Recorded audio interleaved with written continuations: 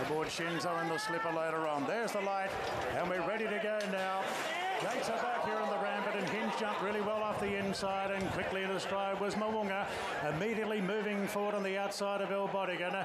Dubai settles in fourth then came Montefilia from Banker's Choice and the Melbourne Cup winner Gold Trip's going to settle last of all so it's hinged in front of Mo'unga who's pressing on on the outside. Nash is having a look over the shoulder to see if James is going to hand up on Hinge. He hasn't done so as yet.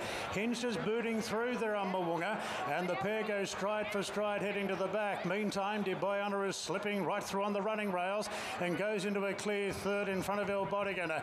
A length and a half to last year's winner, Montefilia. Gold Trip's gone up the fence now, and Banker's Choice is last of all. So Hinged is going to hold down the lead going to the back, and Hinged is two lengths clear from Mo'unga. Dubai Honour goes to a clear third there at the 1200 metres. A length then to El Bodegon, two after Montefilia, followed then by Gold Trip, and Banker's Choice is still the last one. So Hinged is looking to make all in the Ranvet Stakes.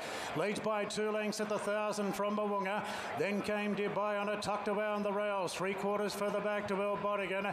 Then Gold Trip and Montefilia. They're racing head and head and two lengths away to Banker's Choice. Now Nash starts to turn the screws on Mo'unga. He moved up on the outside, a hinged a long way from home.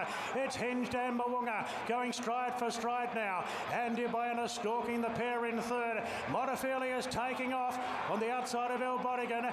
Then Gold Trip and Banker's Choice coming to the turn. Hinge has still got something in the locker. And Hinge found a length, found a length and a half on Mo'unga. And now Ryan Moore's pushing into the clear on Dubai Honour. Montefilia coming down the outside. Dubai Honour moved up on the outside of Hinge.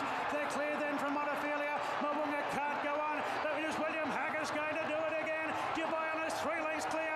Last year's winner Montefilia can't get there. And Dubai Honour can't handle a dry track. Look at him go.